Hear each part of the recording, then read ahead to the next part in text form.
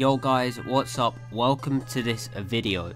So, my most viewed video on my channel is on how to spawn stuff in, but as I said, it's the most viewed video and it's been changed since then, so it's not really correct. So I wanted to make this video today explaining it more in depth on how to do it. So what we're going to be showing you is how to spawn items in, but you guys were having a bit of trouble on how to turn the cheats on to actually spawn it in. This is for single player only.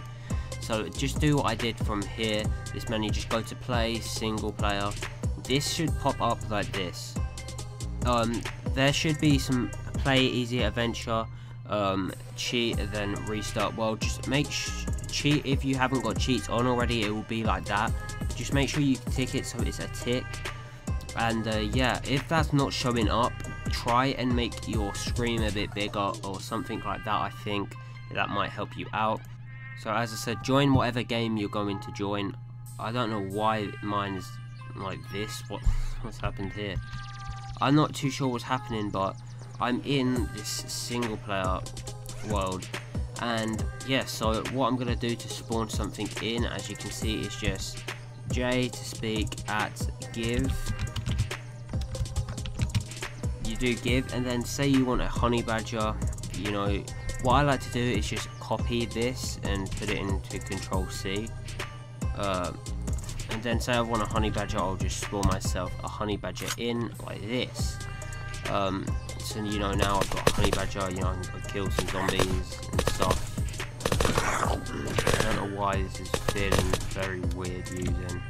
So I run out of ammo, I just do at give, then 17 will me a drum. 100. Nearly died then. And to spawn cars in is pretty easy. Instead of doing uh, give, you at vehicle, then whatever number of vehicle you want. So yeah, that's pretty much the video. I know it's very short, but yeah, that's pretty much how you spawn stuff in. And I'm going to leave a link to a website I like to use now. It's not that old website that I use. It's actually called Unturned Item IDs, I think. I don't know, but there, it'll be a link in the description or the comment section. I'll put a link down there to it as well. Pretty much, you go down there, you type whatever item you want, and the ID will pop up. Um, so yeah, as I remember what I said, this is only for single player, so if you're trying to do this online, it may not work. Um, depends what server it is.